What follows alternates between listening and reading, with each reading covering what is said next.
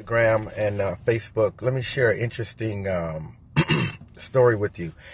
Uh, on the side, I haven't mentioned this too much, but I, I do a little coaching here and there, one on one coaching. So over the weekend, I was having a conversation with one of my coaching students, and the conversation circled around wealth and real estate and whatnot and positive mindset.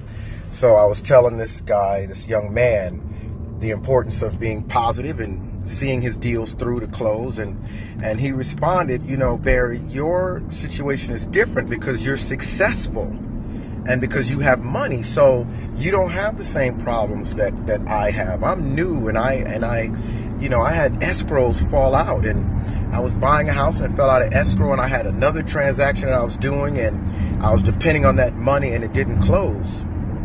So so you know that took me aback for a minute and I, I had to chuckle and I said, young man, young man, young man. I say, I have escrows fall out at least two, three times a month.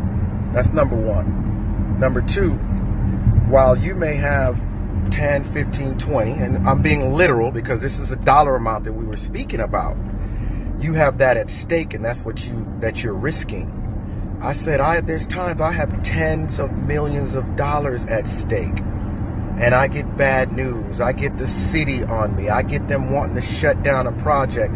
I get these guys having glee in their in their faces when they show up and say, no, no, no, no, no, you guys shut it down for whatever various reason. But the point is, we all have our struggles. We all have things that we have to overcome.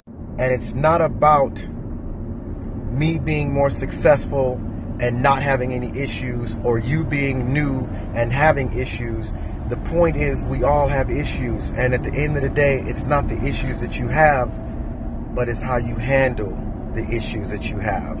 I don't see it as uh, a reason to quit or a reason to say that I'm not going to make it. I see it as a reason to overcome the challenge. I see it as as an opportunity to fix something. It's a to do for me oh, okay, the city says that I can't move forward. What's the reason I can't move forward? Oh, we didn't pull a permit in this area. We pulled a permit in that area, but you found this area, so it gets you off to shut down the whole project. Well, guess, okay, I'll fix the problem. Okay, the escrow fell out in the 12th hour. Okay, we've got $10,000 on the line that we're trying to make, or we've got $210,000 that we're trying to make. It's the same thing, just a couple more zeros, but at the end of the day, it's still an issue it's still an issue if you make it an issue, or it's a solution if you make it a solution. So, in closing, the point that I made to the young man is you're always going to have issues, but do you want to see them as an issue or do you want to see them as an opportunity to do what you got to do to MTH, baby? Make things happen. And that's how you got to look at these things. These challenges are opportunities, these challenges are things to do, these challenges are things that you just got to get done so you can turn that that no into a yes or you can turn that that canceled escrow into a closed escrow. It's all in how you look at it, baby.